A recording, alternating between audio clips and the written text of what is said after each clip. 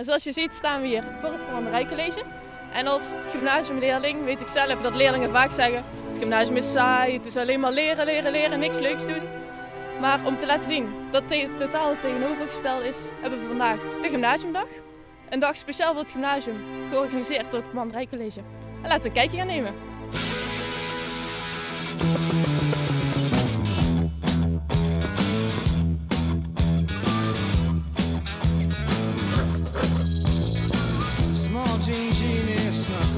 The city, strung out on lasers and slashback blazers, and ate all your razors while pulling the waiters, talking about Monroe walking on. Oké, nou, heel veel eh, gymnasiasten zijn opgeleid om heel theoretisch bezig te zijn. En ik wil daar zo praktisch bezig zijn. Dus de, de link kunnen leggen tussen de theorie die ze al de hele tijd krijgen en het stuk praktijk, wat ze bijna niet krijgen. Jean Genie lives on his back.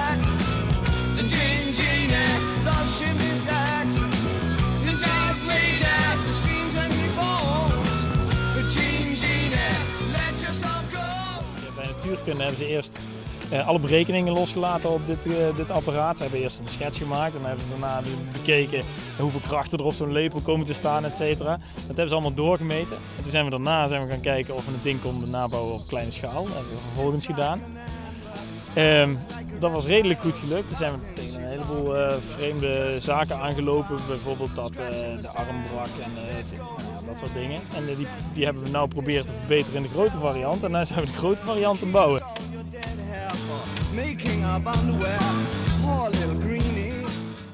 Ja, best wel eigenlijk. Ja, dat is eigenlijk wel leuk. Ja, soms wel, maar viel eigenlijk wel mee. Hebben de momentenwet eh, uitgezocht hoe dat allemaal zit. Het moment 1 is moment 2 en dan moet je de lengte van de arm eh, maal eh, de kracht die op die arm wordt gezet en dan kom je op het moment.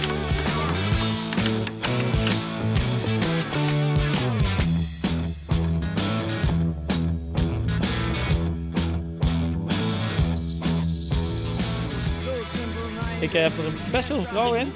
Ik vind het een schitterende constructie nu al voor een stel eh, onderbouwers, eh, om ze niet te beledigen, maar eh, en met behulp van zeer sturende bovenbouwers. Maar ehm, eh, nee, ik vind het tot nu toe echt gaaf. Ik zet hem daarna in de tuin als tuinhuisje. Maar ik, ben, ik, maak me wel, ja, ik maak me wel een beetje druk om, om de middelste as. De ijzeren as waar de lepel zeg maar, omheen draait. Ik ben benieuwd of die het houdt. We zijn er net met vier man aan gaan hangen. Dat is toch, nou ja, vier derde klasse is toch gauw 200 kilo denk ik. Ehm, en dat hield hij. Maar als de kracht ook komt zeg maar, van het contragewicht, wat toch een kilootje of, eh, nou dat zal inmiddels wel 150 kilo zijn. Dan ben ik benieuwd of hij hem houdt.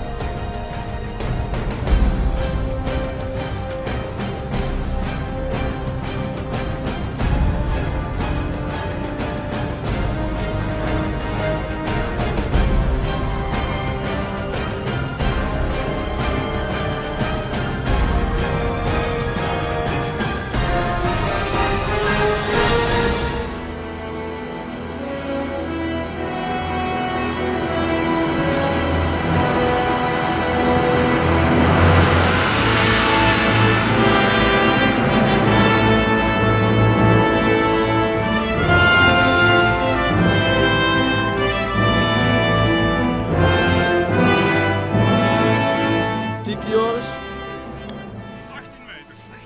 Yes. 18 meter gedaan. Goed gedaan. en die andere is 12.